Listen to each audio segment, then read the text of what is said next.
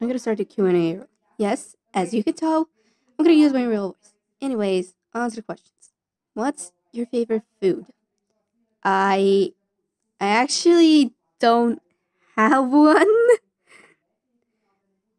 How long have you been using Gacha Life and Gacha Club for? Gacha Life I've been using for a year, and Gacha Club I've been using for three years. What's your favorite Roblox game? But if no, reveal your name. Okay, chill. I'm gonna reveal my favorite Roblox game. You're probably gonna make fun of me, but it's Tornado Alley Ultimate. It's actually a really cool game. You should try it.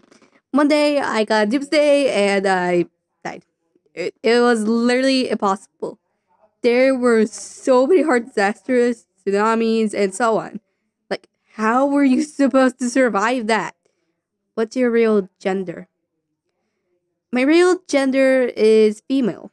Yep, that that's actually it for the Q&A. I'm probably going to make a part 2.